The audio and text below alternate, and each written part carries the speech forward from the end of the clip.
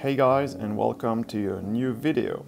It has been over a year now from my last video and for those who were asking, once iPadOS 14 is out, I will make a new video about how you can make a texture pack on your iPad.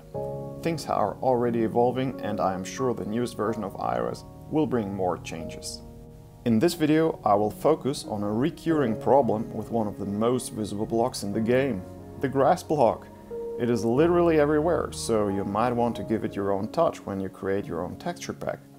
And maybe you take a look into the texture files and notice that there are several files corresponding to the grass block. You got grass carried, grass side carried, and there's grass side, which is also the side and looks kind of weird and confusing. It is gray and doesn't really look like grass. There's also transparency applied, and if you look at the file type, you'll notice that it is a TGA file unless most of the other texture files. This seems like a rather obscure file type and I cannot teach you a lot about it, but I will show you at least how to get this texture done. So here's how to deal with it. You could use GIMP or Paint.net on your computer. For this video I'm using Affinity Photo on my iPad. Once you have made your own grass side carried, you copy the file and name it grass side. You open it with your graphics program and do the following changes. With the selection tool, you select all the pixels that represent the actual grass.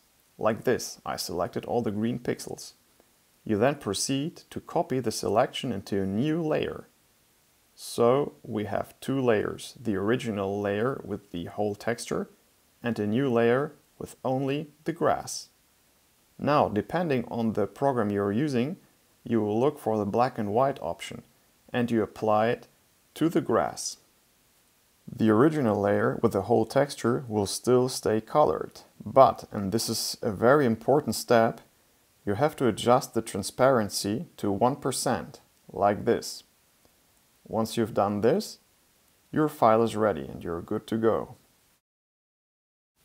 Now you can go into the export options of your program and select TGA. You save the TGA file into your texture folder and you're done. Now we're finishing off. So this is our texture pack folder. We zip it and once it's zipped, we can turn it into a .mc pack.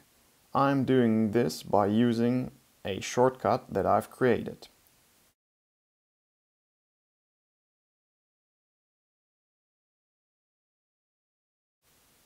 Now we copy the MC pack like this and we go into our game folder. So here's games com.mojang and there's the resource pack folder. We open it and we paste our texture pack. We tap on it and the game will open and import the texture pack.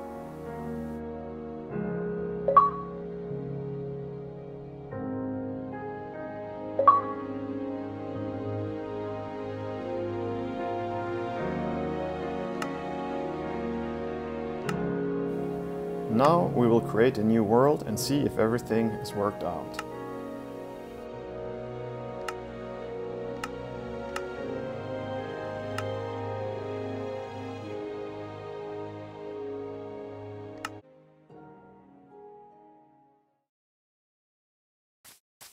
And this looks good. As you can see, our textures have been correctly applied. I hope this video has been useful to you. If you have any question or suggestion, you can leave them down in the comments. Thank you for watching and see you soon!